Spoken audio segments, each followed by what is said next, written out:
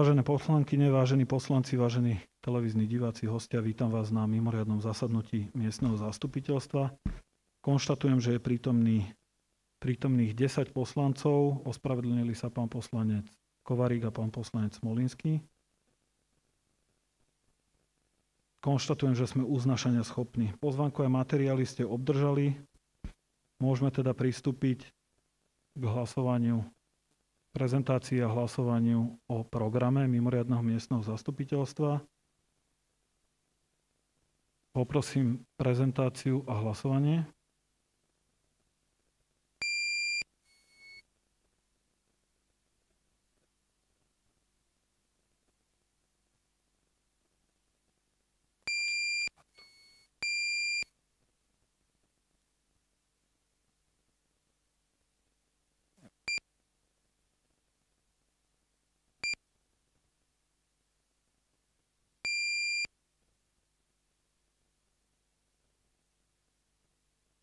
Konštatujem, že za uvedený návrh bolo 9 z 10 prítomných poslancov, proti 0, zdržalo sa 0 poslancov, nehlasovalo 0. Uvedený návrh programu sme schválili. Otváram rozpravu v prípade, ak má niekto návrhy na doplnenie alebo zmenu programu.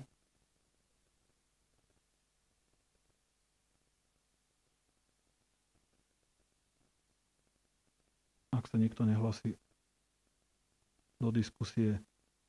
Môžeme pristúpiť k bodu číslo 1 a to je voľba členov návrhovej komisie overovateľov zápisnice a určenie zapisovateľa. Za členov návrhovej komisie navrhujem pána poslanca Tešoviča, pána poslanca Titela a pána poslanca Antala. Za overovateľov pani zástupkyňu Janatovu a pani poslankyňu Kravarikovú. A za zapisovateľa určujem zamestnankyňu miestneho úradu pani Zdenku Paďourovu. Poprosím prezentáciu a hlasovanie.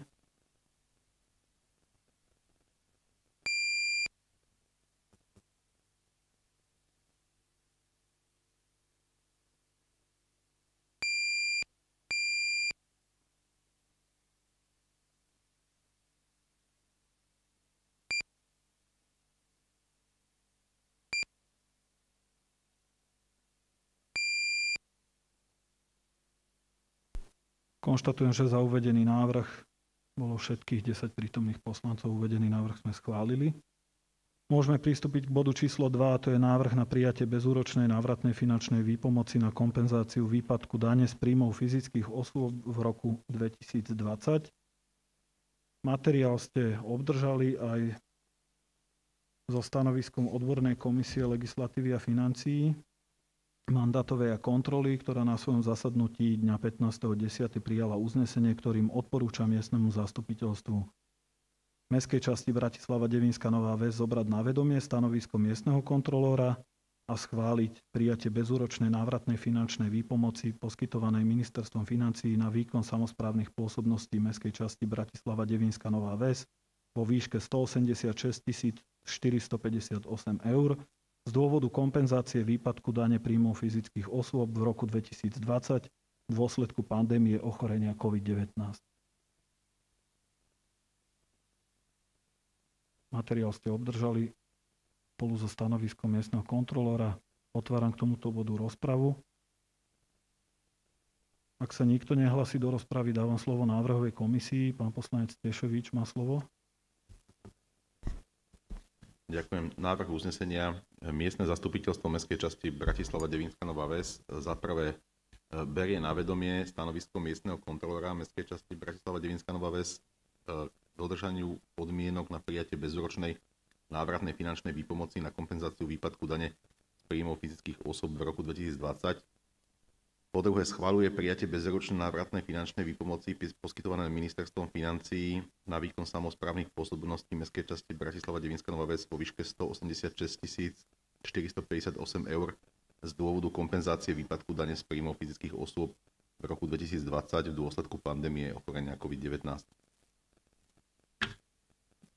Ďakujem, poprosím prezentáciu a hlasovanie.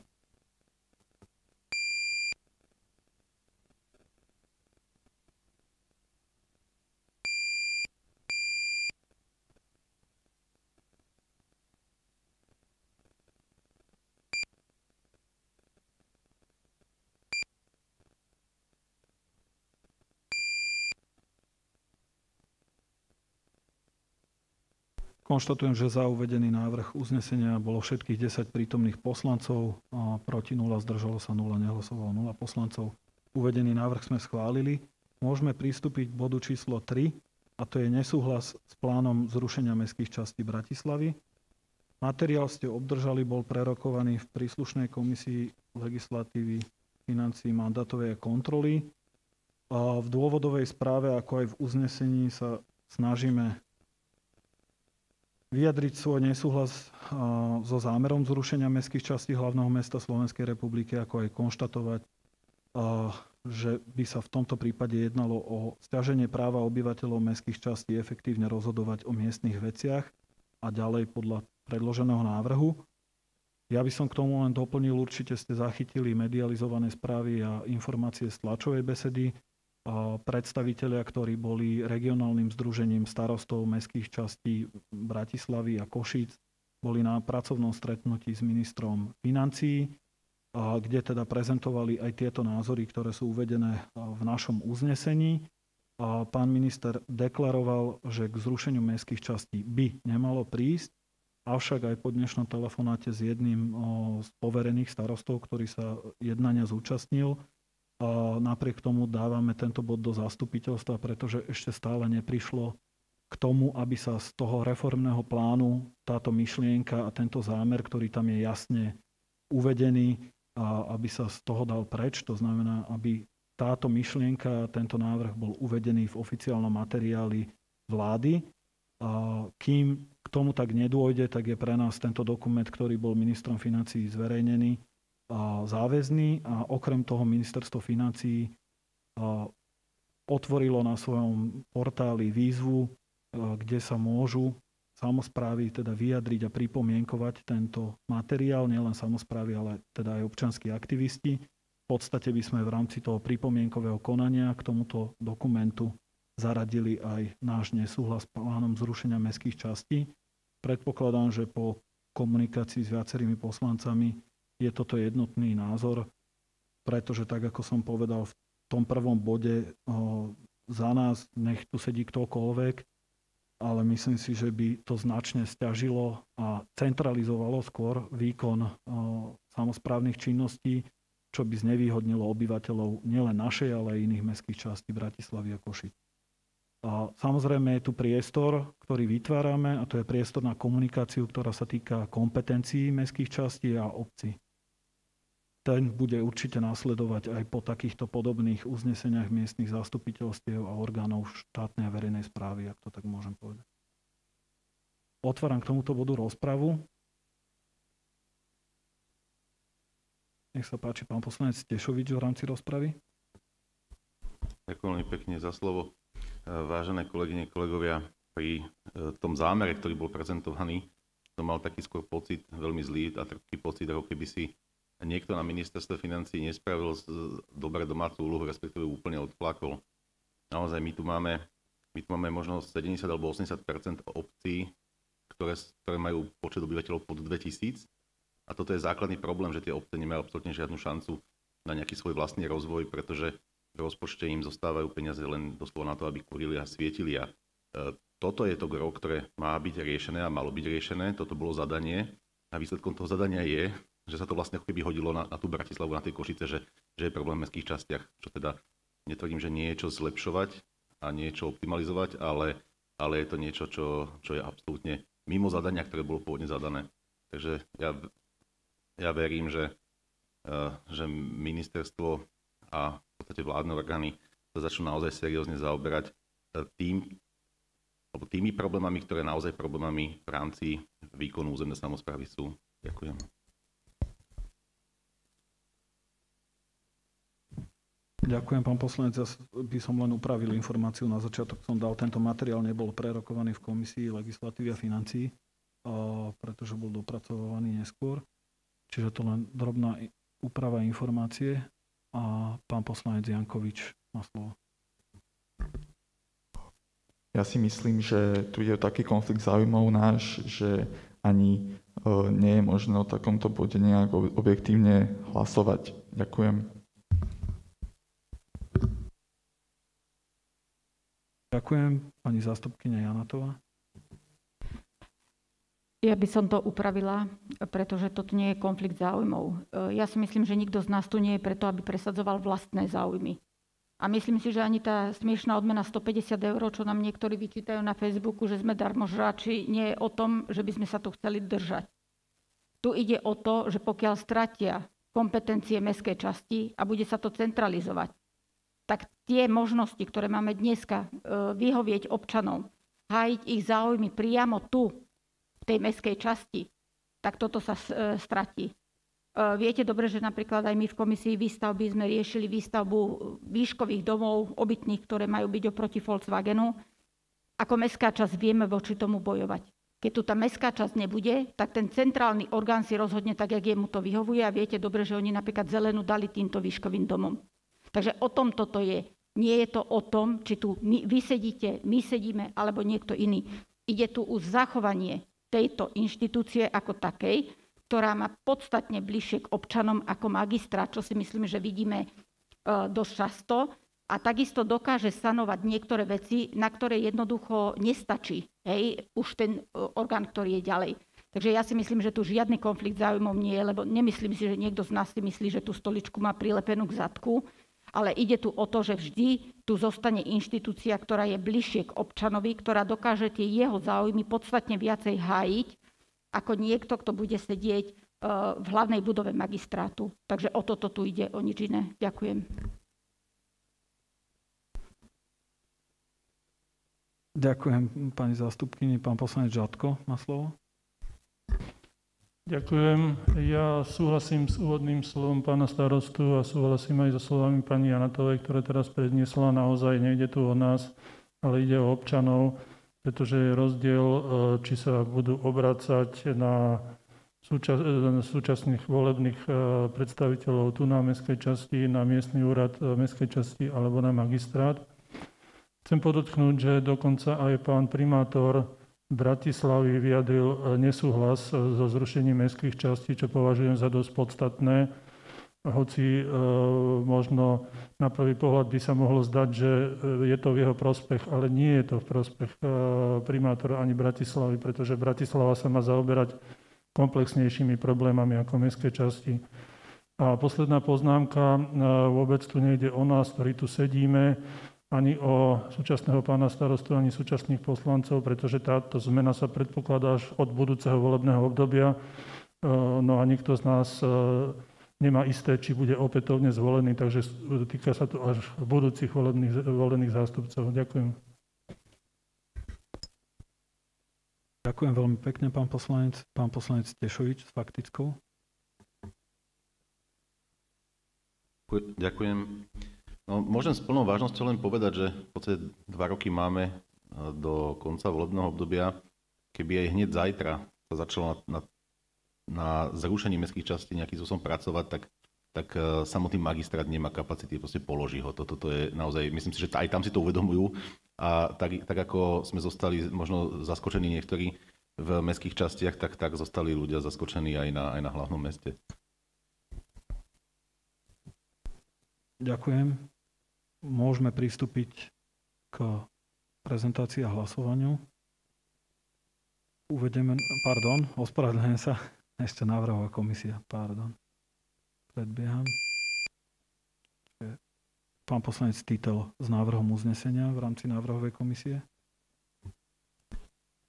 Ďakujem za slovo. Návrh uznesenia znie. Miestne zastupiteľstvo Mestskej časti Bratislava Devinská Nová Ves nesúhlasí so zámerom zrušenia mestských častí hlavného mesta Slovenskej republiky Bratislavy na základe zverejneného materiálu Národný integrovaný reformný plán moderné a úspešné Slovensko, vydaného Ministerstvom financí Slovenskej republiky. Po druhé, konštatuje neúčelnosť a nehospodárnosť zámeru zrušenia mestských častí hlavného mesta Slovenskej republiky Bratislavy z následovných dôvodov. Po A. Sťaženie práva obyvateľov mestských častí efektívne rozhodovať o miestnych veciach. Po B. Zhoršenie prístupu obyvateľov hlavného mesta k službám poskytovaných mestskými časťami. A po C nízka efektívnosť úspory finančných prostriedkov v oblasti mzdových nákladov a materiálneho zabezpečenia v prípade, ak služby doteraz zabezpečované zo strany mestských častí v prospech jej obyvateľov budú zabezpečované prostredníctvom detašovaných pracovísk v mestských častiach. Po D. praktické zabezpečenie výkonu kompetencií, ktoré boli šta- štatútom hlavného mesta Slovenskej republiky Bratislavy zverené mestským častiam. Po E. Problematika prechodu kompetencií, ktoré zákonodarca zveril mestským častiam. A po F. Problematika právneho nástupníctva rozpočtových organizácií, príspevkových organizácií a obchodných spoločností založených alebo zriadených mestskými častiami. Ďakujem. Ďakujem, poprosím prezentáciu a hlasovanie.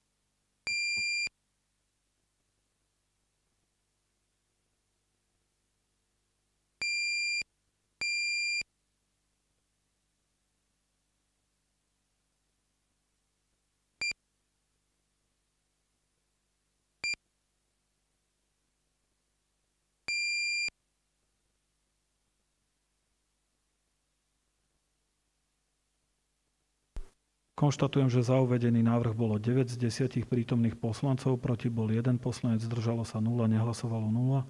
Uvedený návrh sme schválili. Môžeme pristúpiť k bodu číslo 4, a to je návrh zmluvy o zabezpečení odstraňovania a umiestňovania vozidiel na určené parkovisko. Materiál ste obdržali. Jedná sa o zjednodušenie odťahu vozidiel na území mestskej časti, pretože ako ste si všimli, hoci nastali v, v rámci Bratislavy určité zmeny, čo sa týka možnosti odťahu, máme množstvo vrakov, ktoré by už mohli byť odtiahnuté, avšak zazmluvnená firma v rámci mesta, alebo teda prostredníctvom okresného úradu, nám dáva často odpovede, že vrakovisko, ktoré má v prevádzke, alebo teda v správe, je plné a majú problém s odtiahnutím vozidiel k tomuto kroku pristúpili už niektoré mestské časti alebo ho zvažujú a preto sme sa rozhodli dať tento materiál na rokovanie zastupiteľstva, pretože ním vieme vyriešiť súčasnú situáciu. Aktuálne vrak, ktorý sa nachádza pri obchodnom centre, ktorý už máme schválený riadne, odsúhlasený okresným úradom, že je možné ho odtiahnuť, avšak nemáme možnosť ho odtiahnuť, pretože kapacity vrakoviska ako aj oťahovej služby sú momentálne plné. Takýchto prípadov je v rámci Devinskej viacej, ste, si, ste sa s nimi stretli, takže dávam k tomuto bodu, otváram rozpravu. Ak sa nikto nehlasí do rozpravy. Pán Žadko, nech sa páči v rámci rozpravy. Ospravedlňujem sa, mačkal som z, Ligombik. Rozhodne podporujem tento návrh a verím, že konečne Devinska, z Devinskej zmiznú práve také vraky, ako spomínate, pán starosta, ktoré e, zaberajú parkovacie miesta slušným obyvateľom. Ďakujem. Ďakujem. Pán poslanec Antal má slovo.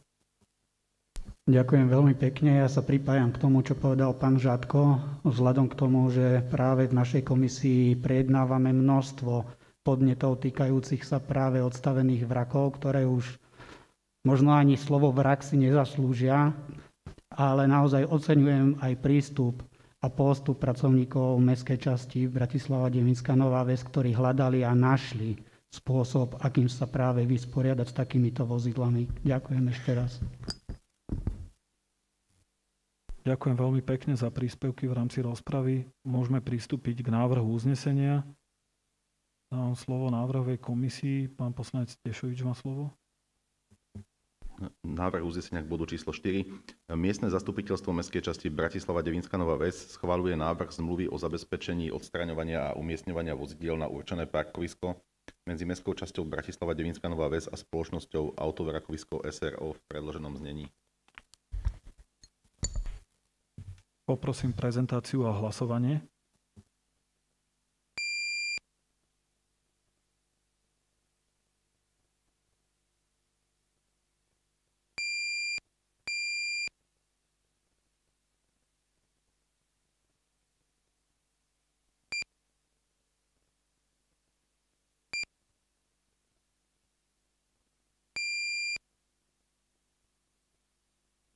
Ďakujem a konštatujem, že za uvedený návrh bolo všetkých 10 prítomných poslancov. Uvedený návrh sme schválili.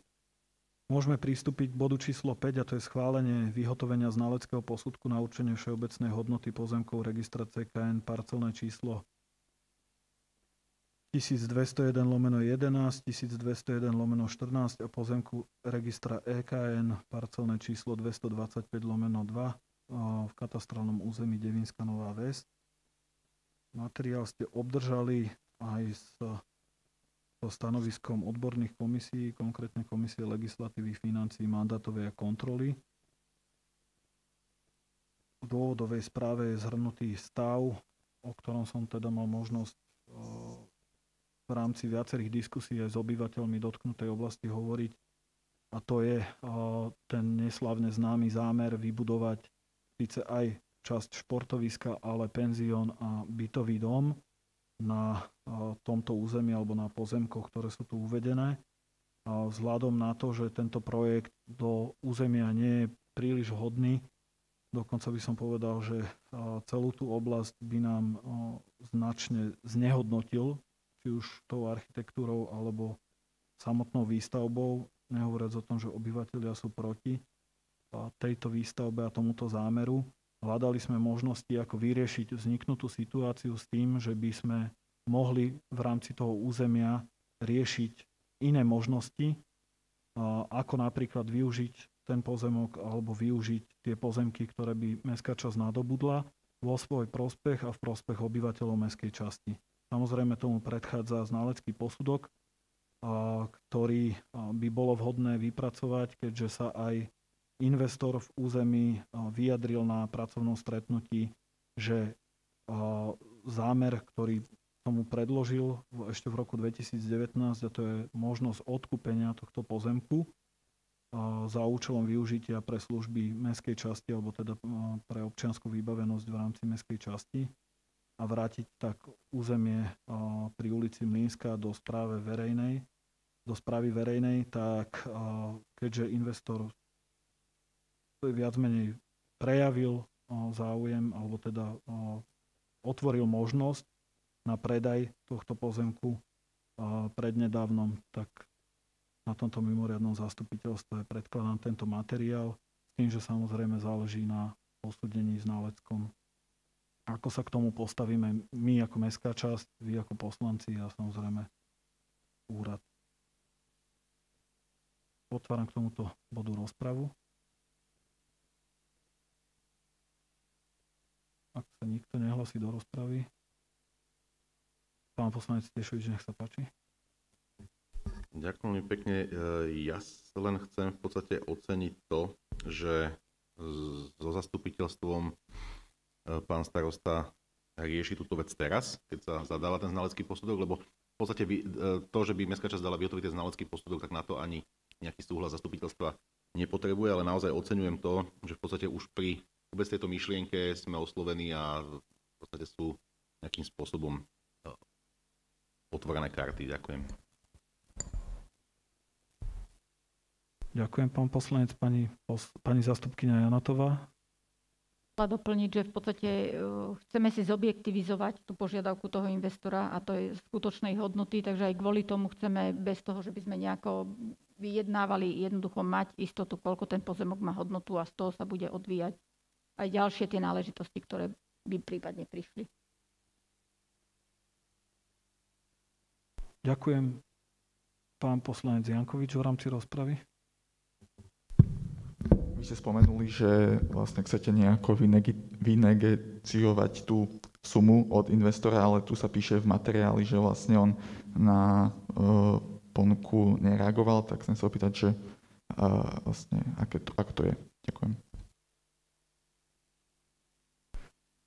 Na túto ponuku nereagoval, to znamená, že nevyjadril súhlas s touto cenou, ale pri pracovnom stretnutí tú možnosť predaja pozemku dal ako reálnu. Len samozrejme pre, tomu predchádza znalecký posudok z našej strany, pretože nedal konkrétny návrh. A keď budeme mať vypracovaný znalecký posudok, môžeme ďalej ísť do, do jednania. Samozrejme už potom s následným zámerom, čo budeme ďalej s pozemkom robiť. Toto je prvý krok. Tak ako aj pán poslanec Tešovič povedal, že mohli sme ísť vlastnou cestou, ale vzhľadom na to, že nielen, že mám pocit, ale je to vec, ktorá bude konzultovaná aj do budúcna s členmi poslaneckého zboru, pretože sa bude jednať, ak, tak sa bude jednať o, o majetok mestskej časti. a o financie mestskej časti, tak dávam teda priestor na tento postup a zváženie tých možností. Samozrejme, keď budeme mať vypracovaný znalecký posudok, môžeme ísť do ďalšieho rokovania.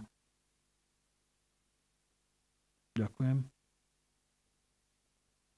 Dávam slovo návrhovej komisii. Pán poslanec Antal, nech sa páči. Ďakujem pekne za slovo. Takže návrh uznesenia znie. Miestne zastupiteľstvo Mestskej časti Bratislava Devinská Nová Ves schváľuje vyhotovenie znaleckého posudku na stanovenie všeobecnej hodnoty pozemkov registra C KN parcelné číslo 1201 lomeno 11 výmera 2495 m štvorcových, druh pozemku ostatná plocha Parcelné číslo 1201 lomeno 14, výmera 8361 m štvorcových, druh pozemku ostatná plocha, oba zapísané na liste vlastníctva číslo 6900 a pozemku registra EKN parcelné číslo 225 lomeno 2, výmera 511 m štvorcových, druh pozemku, trvalý trávnatý poraz zapísaný na liste vlastníctva číslo 6900 v katastrálnom území Devinská Nová Ves za účelom možnosti odkúpenia predmetných pozemkov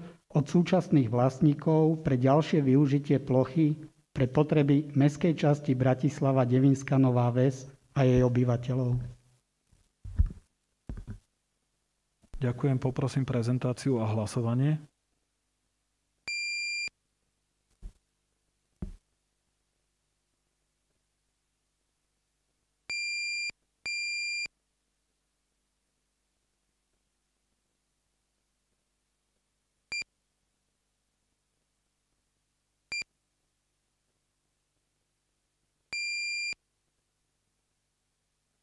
Konštatujem, že za uvedený návrh bolo všetkých 10 prítomných poslancov. Uvedený návrh uznesenia sme schválili. Môžeme pristúpiť k bodu číslo 6 a to je návrh na poskytnutie dotácie z rozpočtu Mestskej časti Bratislava Devínska Nová Väz na rok 2020.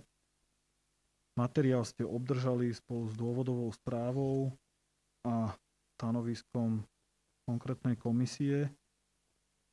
Otváram k tomuto bodu rozpravu. Ak sa nikto nehlasí do rozpravy, dávam slovo návrhovej komisii. Pán poslanec, pán poslanec Týtal, nech sa páči. Ďakujem pekne za slovo. Návrh uznesenia znie. Miestne zastupiteľstvo Mestskej časti Bratislava Devinská Nová Ves schváluje poskytnutie dotácie na rok 2020 v zmysle všeobecne záväzného nariadenia Mestskej časti Bratislava Devinská Nová Ves číslo 5 lomeno 2019 o poskytovaní dotácie z rozpočtu mestskej časti Bratislava Devinská Nová Ves v oblasti životného prostredia pre žiadateľa následovne pre spoločnosť Imonova spol SRO výška schválenej dotácie 2500 eur. Ďakujem.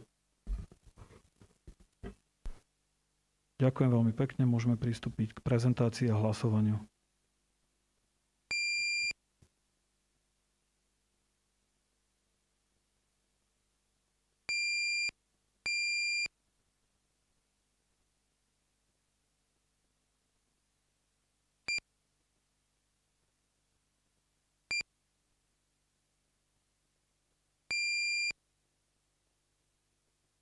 Konštatujem, že za uvedený návrh bolo všetkých 10 prítomných poslancov. Uvedený návrh sme schválili. Môžeme pristúpiť k bodu číslo 7, a to je rozpočtové opatrenie číslo 3 k schválenému rozpočtu 2020 Mestskej časti Bratislava Deninská Nová Väz na rok 2020. A materiál ste obdržali spolu so stanoviskom príslušnej komisie.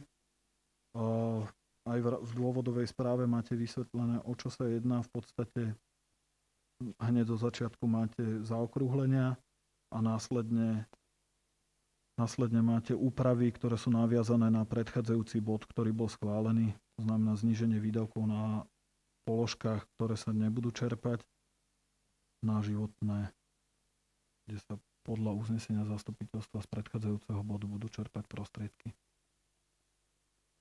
Otváram k tomuto bodu rozpravu. Pán poslanec Tešovič má slovo. Ďakujem. Ja som sa len chcel spýtať jednu, jednu otázočku a to, e, že tá načerpaná, alebo keď načerpáme tú, nenávratnú, teda tú návratnú finančnú výpomoc, tak tá bude predmetom potom rozpočtovej zmeny ďalšej ešte ku koncu roku? Tak tomu rozumiem správne? Malo by to tak byť. Hm. Takú mám informáciu aj ja. Ďakujem.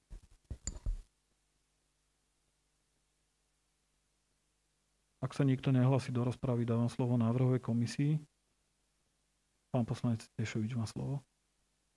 Ďakujem. No, tak pekne vyšlo, že kolega pýtal šport, ja financie. Takže návrh uznesenia miestne zastupiteľstvo e, mestskej časti Bratislava Devinská Nová Ves schváluje rozpočtové opatrenia číslo 3 k schválenému rozpočtu mestskej časti Bratislava Devinská Nová Ves na rok 2020 v nasledovnom znení podľa predloženého návrhu. Poprosím prezentáciu a hlasovanie.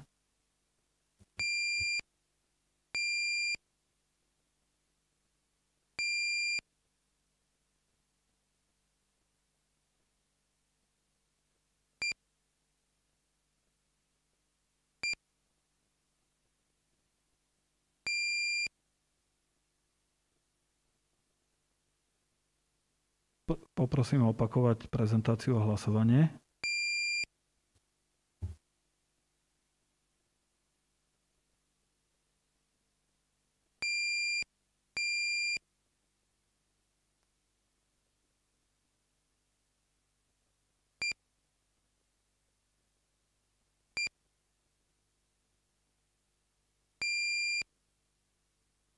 Ďakujem a konštatujem, že za uvedený návrh bolo všetkých 10 prítomných poslancov. Uvedený návrh sme schválili. Môžeme pristúpiť k bodu rôzne. Ak máte v rámci tohto bodu, nech sa páči. Ak nie, tak som rád, že sme mali konštruktívne zastupiteľstvo a, a schválili sme spoločne veci, ktoré majú vplyv na život a dianie v našej mestskej časti. To sa týka aj moje ďalšie stretnutie, ktoré už prebieha momentálne na okresnom úrade a týka sa celoplošného testovania aj obyvateľov našej mestskej časti, o ktorom vás budem teda informovať, aby ste ako poslanci mali čo najskôr informácie, ako je plánovaný tento zámer a kedy teda sa uskutoční v mestskej časti. Ďakujem veľmi pekne. Ak sa nikto nehlasí do rozpravy, ukončujem, bodu rôzne a končím mimoriadne miestne zastupiteľstvo. Ďakujem vám veľmi pekne. Prajem vám príjemný zvyšok dňa.